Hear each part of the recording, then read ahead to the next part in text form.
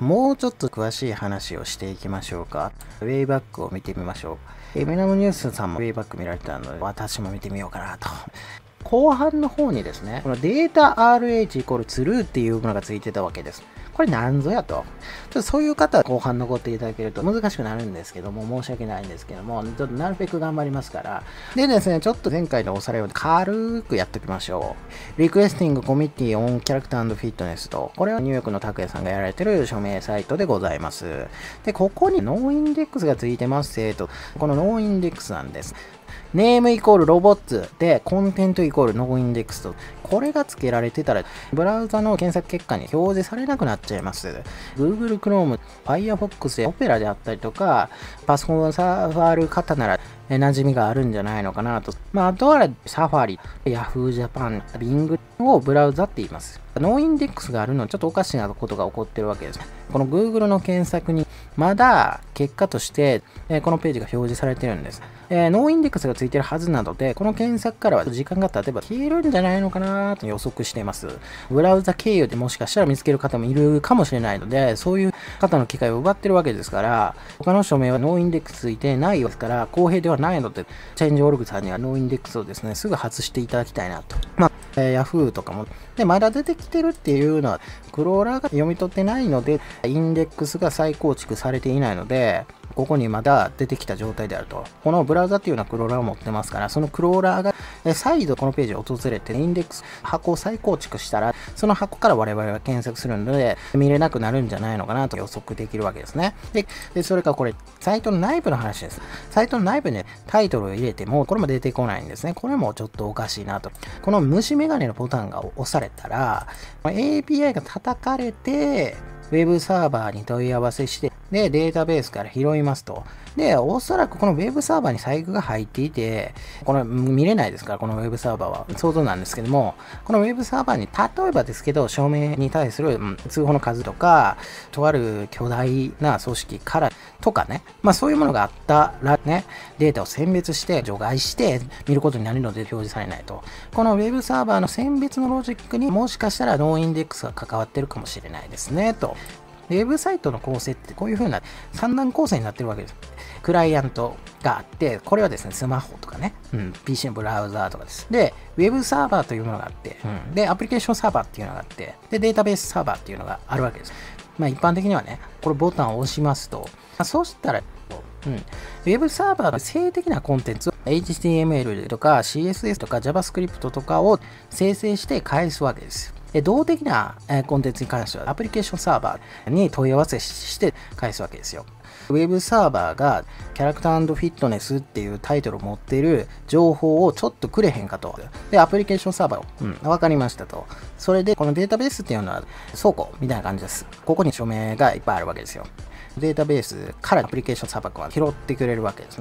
まあ、それで、このウェブサーバーに返すわけですよ。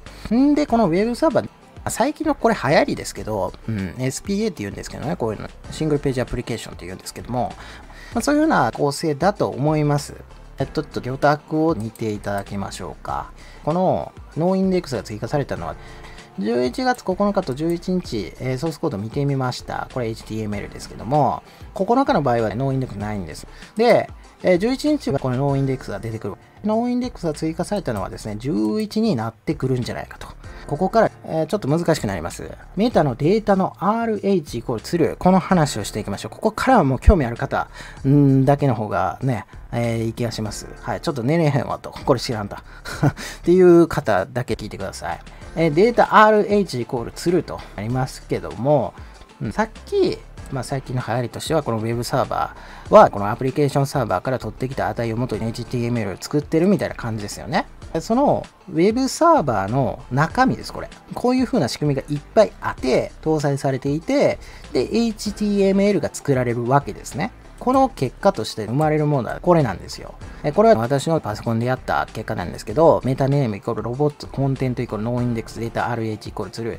で、こういう風な仕組みが Web サーバーには搭載されていまして、これめちゃくちゃ適当なサンプルですけども、こういう風な仕組みがいっぱいあって、Web サーバーがアプリケーションサーバーから取ってきた値を元にして、HTML を構成してブラウザに返してるわけですね。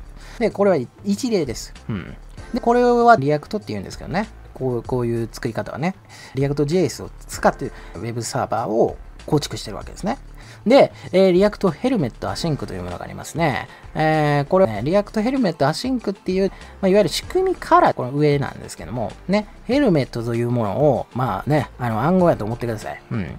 呪文です、呪文。で、 Helmet をインポートして読み込んでですね、それを使って、このメタタグ作ってますよと、そういうコードです。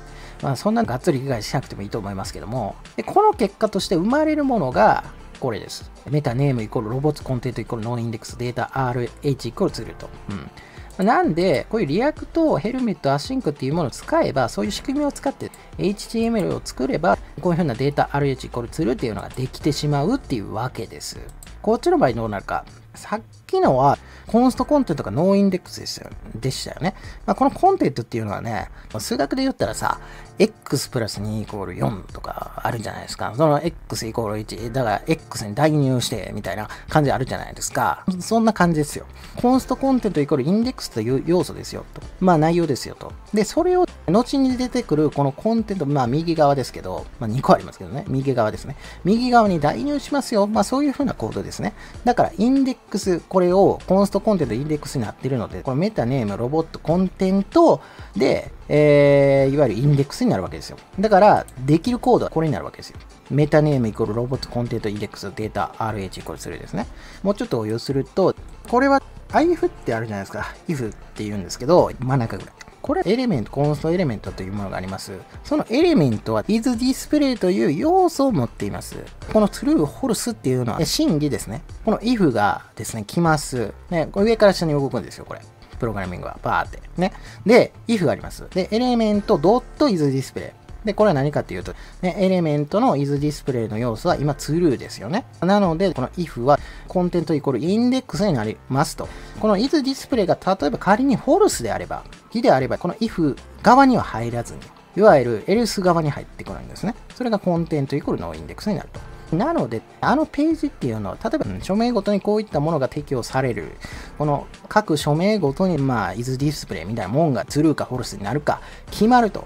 まあ、それで、まあ、これはあくまで僕のね、妄想ですけど、ね、この if 文みたいなものがあって、それでインデックスをつけるか、ノーインデックスをつけるか。で、それで、このロジックによって、HTML が生成されて、まあ、そして我々が見れると。で、例えば仮にですよ、この element の isDisplay 例えば通報の数とかを見て、ある数字より大きければ、この isDisplay を false にしましょう。そうしたらですね、 noindex がついた HTML が出てくるわけですね。つまり、こっちの HTML が作られるわけです。まあ、こういう風なものが Web サーバーに搭載されてるんじゃないのかしらと思うわけですね。まとめますけども、検索窓に入れるとさ、Web サーバーにまず問い合わせをします。キャラクターフィットネスの情報をウェブサーバー君に問い合わせる。ウェブサーバー君はアプリケーションサーバーに、えー、アプリケーションサーバー君はデータベースに、キャラクターフィットネスというタイトルが含まれているものをちょっと取ってきてくれと。で、データ RH、えー、イコール true の話だ。この Web サーバーの話ですね。HTML を作っているロジックの話ですからね。で、その辺も多分通報の数とか見てるんですかね、みたいな感じですから、つまり、このアプリケーションサーバーのあの選別の方法と、ウェブサーバーの noindex をつける方法が似通ってるんじゃないんですかね。ってなると、まあ、実質的に同じようなロジックで noindex をつけてたり、えー、そのデータを選別してたりするんで、内部検索の話はこのアプリケーションサーバーのはずなので、まあ、ノーインデックスはまあ関連してるって言っても、まあ、過言ではないかなっていう感じですね。ちょっと後半は難しくなっちゃったんですけども、まあ、これが私の限界で申し訳ない。はい。